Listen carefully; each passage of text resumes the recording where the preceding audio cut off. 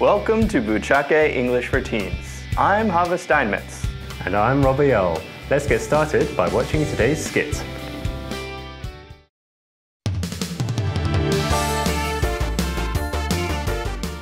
Wait, where are your Luna Spark costumes? Come again?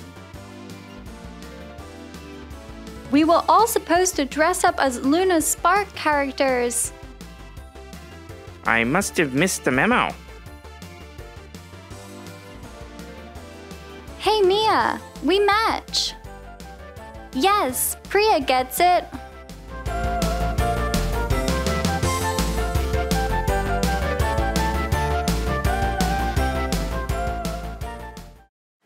You can always count on Mia to have an interesting costume. Yeah, but too bad she couldn't count on any of her friends dressing up to match. I don't think Mia actually said anything about it to them. True, and they all had great costumes themselves. Priya did dress up as a Luna Spark character, though. And what Mia said to Priya is today's point. Priya gets it. You can say that someone gets it when they say or do something that shows they understand what you mean or what you're trying to do. Right. It basically shows that their viewpoint aligns with yours and that you approve of their actions. Now, this is usually said for the benefit of others nearby whose views or actions don't necessarily align with yours. This shows that while they don't get it, the person you are addressing does. Exactly. In the video, we saw that Mia said this phrase to Priya in earshot of her friends who hadn't dressed up the way she was hoping. So she was kind of rubbing it in that they hadn't acted the way she was hoping they would. Okay, let's check out some examples. If no one brings their swimsuit to the beach, but your best friend shows up in his swimsuit, you could say, Yes, Sho gets it. Yes, Sho gets it. Or if you're having a picnic and no one brings any food except for you and one other friend, you might say, Thank you, Akane gets it. Thank you, Akane gets it. Maybe you watched your favorite movie with a group of friends and nobody liked it except for one of them. You might say, Yuki gets it. This movie is a masterpiece.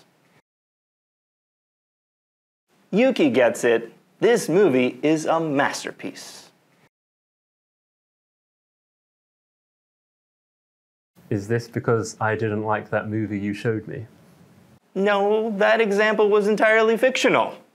But Fleabix Fighters 5, Revenge of the Florb, is a masterpiece.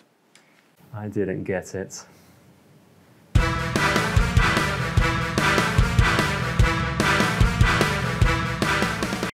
Our World English's point today is about the kind of party that people usually have on Halloween. That's right.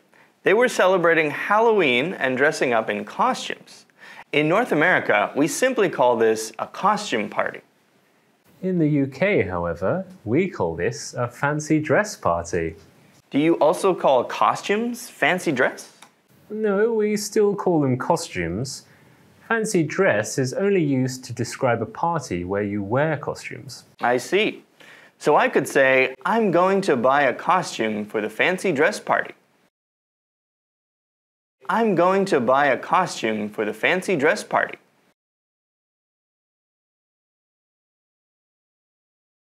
That's right. Also, if you want to ask if people will be wearing costumes to a party, you can ask, Is the party fancy dress? Is the party fancy dress? Well, whether you call it a fancy dress party or a costume party, it's always fun to dress up and have fun with your friends. How about you, Hava? Are you dressing up this Halloween? Well, of course. I'm going to dress up as Florb from Fleabix Fighters. Of course you are. Well, that's all for today. Be sure to try these phrases out and don't forget to have fun. If you like this video, don't forget to subscribe and give us a like. See you next week.